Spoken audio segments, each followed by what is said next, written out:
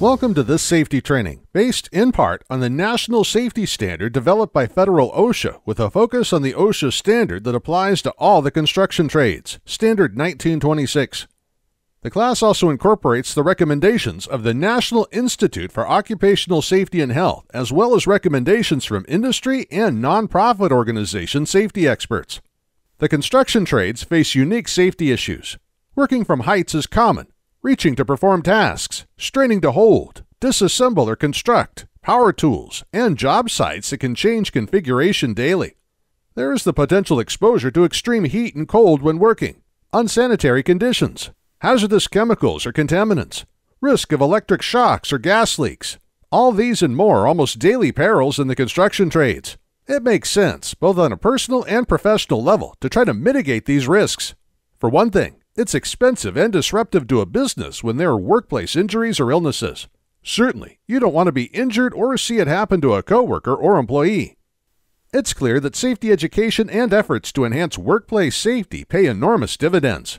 For example, from the time OSHA was created in 1970 through to 2012, injuries and work related illnesses decreased from about 12 per 100 to just over 3 per 100 full time workers.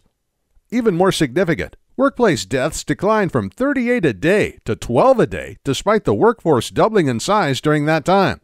By the way, the leading industry for workplace deaths at the present time is construction. This class is based on OSHA regulations and recommendations intended to foster safer workplaces for tradesmen, crafted by OSHA and by other government agencies, like NIOSH and the EPA. It will also incorporate the recommendations of safety experts from private and nonprofit organizations. We'll look at the main risks workers are exposed to in a typical job environment and the ways to mitigate or avoid those risks for you, your coworkers, and for the public. We've come a long way toward enhanced worker safety and consumer protection, but we can do better. If you have a business, this class will help you craft and enforce better workplace safety and consumer protection. If you work for a building, electrical, plumbing, or HVAC company, it will help you foster safer workplace habits for a longer and more satisfying career. We'll begin with a review of OSHA, followed by a presentation of the safety responsibilities of employees and employers.